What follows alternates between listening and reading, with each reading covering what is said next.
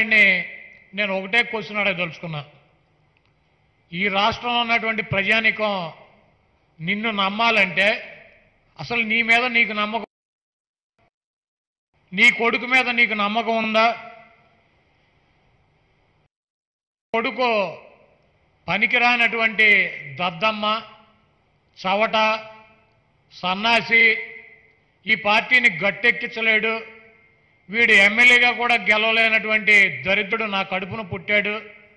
ఇటువంటి వ్యక్తిని పెట్టుకుని కనుక వెళ్తే పూర్తిగా సర్వనాశనం అవుతానని చెప్పి నువ్వు భావించే కదా.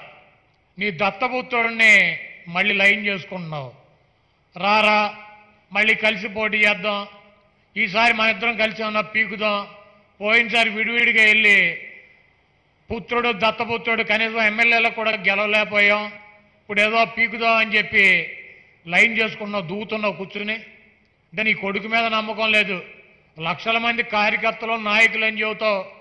తెలుగుదేశం పార్టీకి వాళ్ళ మీద నమ్మకం లేదు. నీకు దత్తపుత్రుడి మీద నమ్మకం. ఇక నీ దత్తపుత్రుడైతే అయితే ఈ మధ్య ఉపన్యాసాలు చూస్తే చాలామందికి చాలా ఆశ్చర్యం వేసింది. ఎందుకంటే రాజకీయ పార్టీలు పెట్టి లో అట్టడుగు ఉన్నటువంటి బలహీన వర్గాలను బడుగు వర్గాలను ఎస్సీలని బీసీలని ఎస్టీలని మైనార్టీలని అగ్రకులాల్లో ఉన్నటువంటి పేదల్ని వారి అభ్యున్నతి కోసం మా పార్టీలు పనిచేస్తాయి. మేము అండగా ఉంటాం.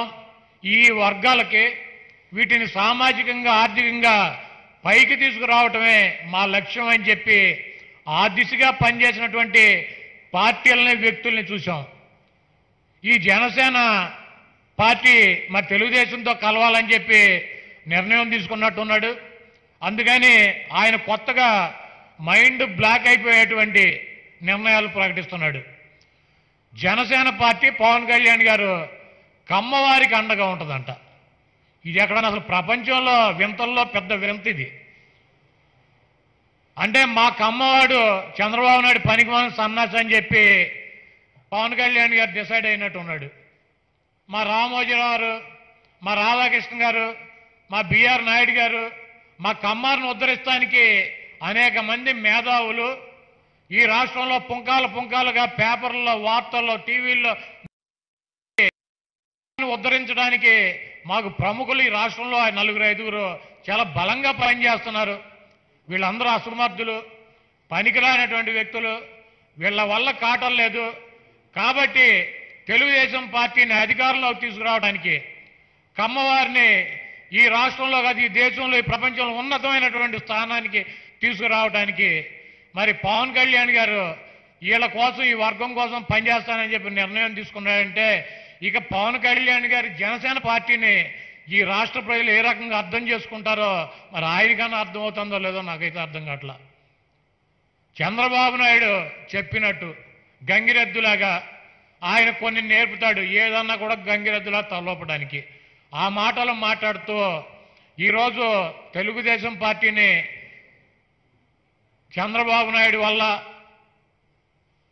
ఆయన పుత్రుడు లోకేష్ వల్ల ఆ పార్టీని నడుపుతున్నటువంటి రెండు మూడు ఛానళ్ళ అధిపాతుల వల్ల కాటం లేదని చెప్పి అర్థమైంది కాబట్టి దయచేసి జనసేన పార్టీలో టీడీపీని విలీనం చేసేస్తే కమ్మవారికి తెలుగుదేశం పార్టీని నమ్ముకునున్నటువంటి కొంతమంది వ్యక్తులకి పవన్ కళ్యాణ్ గారు